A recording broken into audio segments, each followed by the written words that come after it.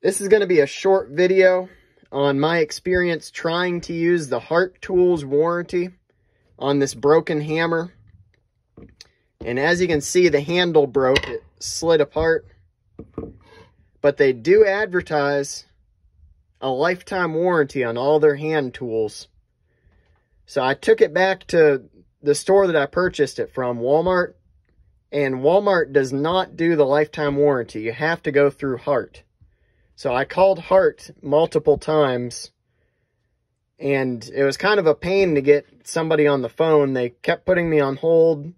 And then when I finally talked to somebody, they informed me I would have to take the original purchase receipt along with the tool to an authorized repair place. And there are no authorized repair places near me. So that makes it kind of a pain to use the warranty, it's almost not worth using. You're just about better off buying a new tool if it breaks. And many of the other brands like Pittsburgh or Milwaukee or Tekton, they offer a lifetime warranty that's very easy to use.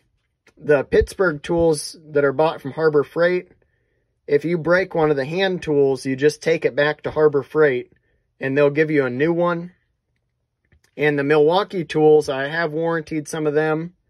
You just email them a picture that shows where the tool is broke and they will send you another one free of charge.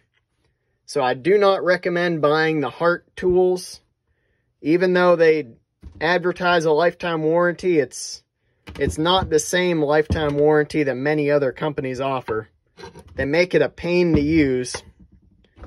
But that's going to be all for this video. If you have any questions, just put it down in the comment section. Thank you for watching. Please comment, like, and subscribe.